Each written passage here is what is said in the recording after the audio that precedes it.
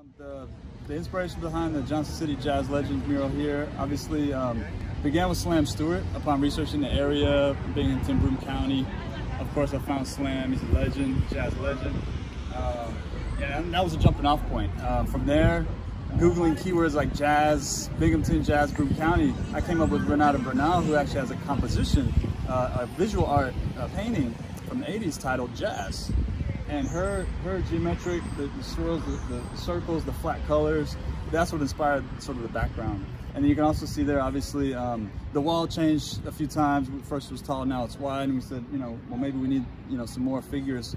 Uh, so we put the living legends of Al Hamme and Dina DeRose.